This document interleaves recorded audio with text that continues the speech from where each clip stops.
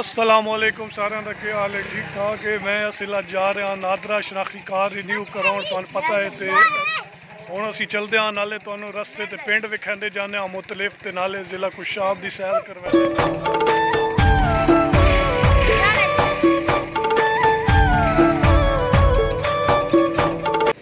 ਜੀ, ਤੁਸੀਂ ਚੈੱਕ ਕਰ ਰਹੇ ਹੋ ਕਿ ਅੱਜ ਬੱਦਲ ਵੀ ਹਨ ਤੇ ਨਾ ਰਾਤ ਨੂੰ ਬਾਰਿਸ਼ ਹੋਈ ਆਈ। ਇਹ ਪਾਣੀ ਕਾਫੀ ਜ਼ਿਆਦਾ ਵੱਧ ਗਿਆ। ਹੈ ਸਾਹਮਣੇ ਇਹ ਸਕੂਲ ਹੈ। ਬਾਕੀ ਤੁਸੀਂ ਚਿੱਕੜ ਚੈੱਕ ਕਰ ਰਹੇ ਹੋ ਤੇ ਹਰ ਤਰ੍ਹਾਂ ਹੁਣ ਤਾਂ ਬਾਰਿਸ਼ ਦਾ ਮੌਸਮ ਬੜਾ ਹੋਇਆ ਨਾਲੇ ਸਕੂਲ ਤੋਂ ਇਹ ਛੋਰ ਦਾ ਸਰਟੀਫਿਕੇਟ ਲੈਣ ਆਈ। ਨਾਲੇ ਨਾਦਰਾ ਵਿੱਚੋਂ ਆਪਣਾ ਸ਼ਨਾਖਤੀ ਕਾਰਡ, ਉਹਦਾ ਫਾਰਮ ਦਿੱਤਾ ਸੀ, ਉਹ ਜਮ੍ਹਾਂ ਕਰਕੇ ਤਾਂ ਨਵਾਂ ਮਤਲਬ ਰੀਨਿਊ ਕਰਾਉਣਾ ਸੀ ਸ਼ਨਾਖਤੀ ਕਾਰਡ। ਤੇ ਤੁਸੀਂ ਬਾਕੀ ਚੈੱਕ ਕਰ ਰਹੇ ਹੋ ਤੇ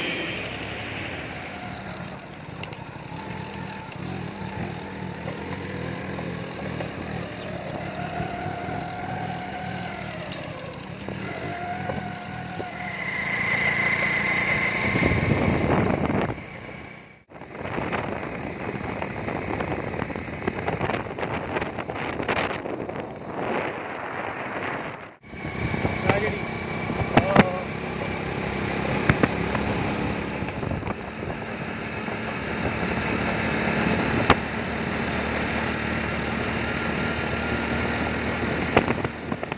ਜੀ, ਤੁਸੀਂ ਚੈੱਕ ਕਰ ਰਹੇ ਹੋ, ਸਾਡਾ ਮੋਟਰਸਾਈਕਲ ਪੰਚਰ ਹੋ ਗਿਆ ਰਾਹ ਦੇ ਉੱਤੇ। ਜਦੋਂ ਵੀ ਕੋਈ ਬੰਦਾ ਜ਼ਰੂਰੀ ਕੰਮ ਵਹਿੰਦਾ, ਉਦੋਂ ਹੀ ਇਹ ਪੰਚਰ ਹੋ ਵਹਿੰਦਾ। ਤੇ ਬਾਕੀ ਤੁਸੀਂ ਚੈੱਕ ਕਰ ਰਹੇ ਹੋ ਪਿੰਡ ਦਾ ਮਾਹੌਲ। ਤੇ ਇਸ ਵਕਤ ਤੁਸੀਂ ਚੈੱਕ ਕਰ ਰਹੇ ਹੋ, ਬੱਦਲ ਬੜੇ ਹੋਏ ਅਸਲ ਅਗੋ ਦਫ਼ਤਰ ਦਾ ਲੇਟ ਹੋ ਰਿਹਾ ਸੀ। ਤੇ ਇਸ ਵਾਸਤੇ ਹੋਰ ਕੋਈ ਨਾ ਹੀ ਕਿਹੜਾ ਕੋਈ ਜਲਦੀ ਹੁੰਦੀ ਬੰਦੇ ਨੂੰ ਅਸਲ ਦਫ਼ਤਰ ਕੁਸ਼ਾਬ ਵੀ ਪਹੁੰਚਣਾ ਤੇ ਇਹ ਅਗਲਾ ਜਿਹੜਾ ਹੈ ਗਿਰਾਂ ਆਇਆ ਕੱਲਾ ਇੱਥੋਂ ਸਕੂਲ, ਇੱਕ ਹਾਈ ਸਕੂਲ ਹੈ, ਉਹਦੇ ਕੋਲ ਸਰਟੀਫਿਕੇਟ ਵੀ ਲੈਣਾ ਹੀ ਤਾਂ ਜੀ, ਜਿਸ ਰਸਤੇ ਤੇ ਸਾਡਾ ਮੋਟਰਸਾਈਕਲ ਪੰਚਰ ਹੋਇਆ, ਇਹ ਤੋਂ ਸ਼ਾਹ ਤੁਸੀਂ ਚੈੱਕ ਕਰ ਰਹੇ ਹੋ, ਨਜ਼ਰ ਤਾਂ ਨੇੜੇ ਆ ਰਿਹਾ, ਤਕਰੀਬਨ 1.5 ਕਿਲੋਮੀਟਰ ਹੈ। ਤੇ ਹੁਣ ਪਹਿਲੇ ਲਵੈਨੇ ਆ ਪੰਚਰ ਫਿਰ ਚਲਦੇ ਆ ਹਾਈ ਸਕੂਲ ਸਰਟੀਫਿਕੇਟ ਲੈਣਾ ਹੀ ਛੋਰ ਦਾ। ਤੇ ਵੱਧ ਚਲਦੇ ਆ ਨਾਦਰਾ ਦਫ਼ਤਰ ਉੱਤੇ ਆਪਣੀ ਫਾਈਲਾਂ ਜਮ੍ਹਾਂ ਕਰਾਂਦੇ ਆ। ਤੇ ਵੱਧ ਜੇ ਕੋਈ ਕੰਮ ਯਾਦ ਆ ਗਿਆ ਤੇ ਕੋਈ ਸ਼ਾਪ ਦੇ ਵਿੱਚ ਹੋਰ ਕੰਮ ਕਰ ਲਸਾਂ, ਨਹੀਂ ਤਾਂ ਫਿਰ ਵਾਪਸੀ ਆ ਵਸਾਂ। ਤੇ ਬਾਕੀ ਤੁਸੀਂ ਚੈੱਕ ਕਰ ਰਹੇ ਹੋ, ਮੌਸਮ ਜਿਹੜਾ ਰਾਤ ਨੂੰ ਬਾਰਿਸ਼ ਹੋਈ ਆਈ, ਤਾਂ ਇਸ ਟਾਈਮ ਮੇਰੇ ਖਿਆਲ ਮੇ ਤਕਰੀਬਨ ਵੱਜ ਚੁੱਕੇ ਨੇ ਸਵਾ 12 ਦੇ ਲਗਭਗ। ਤੇ ਅੱਲਾ ਤੁਸੀਂ ਚੈੱਕ ਕਰ ਰਹੇ ਹੋ, ਬੱਦਲ ਬੜਾ ਹੋਇਆ। ਅੱਜ ਧੁੱਪ ਤੇ ਜ਼ਿਆਰਤ ਕਰਾਈਏ, ਕੋਈ ਨਹੀਂ ਸਾਨੂੰ। ਬਾਕੀ ਚਲਦੇ ਆ ਅੱਗਾ, ਨਾਲੇ ਤੁਸੀਂ ਚਲੋ ਸਾਡੇ ਨਾਲ, ਵੇਖੋ। ਇੱਕ ਗੱਲ ਇਹ, ਤੁਸੀਂ ਚੈੱਕ ਕਰ ਰਹੇ ਹੋ, ਪਿੰਡ ਦੇ ਵਿੱਚ ਬੜਾ ਸਕੂਨ ਹੈ ਮੈਂ ਪਿੰਡ ਵਿੱਚ ਤਕਰੀਬਨ ਸਵਾ ਕਿਲੋਮੀਟਰ ਦਾ ਸਫ਼ਰ ਕਰਕੇ ਆਖਿਰਕਾਰ ਪਹੁੰਚ ਆਇਆ। ਤੇ ਭਾਈ ਅੱਗੇ ਪੰਚਰ ਲਵਾ ਰਿਹਾ ਸੀ ਮੋਟਰਸਾਈਕਲ ਨੂੰ।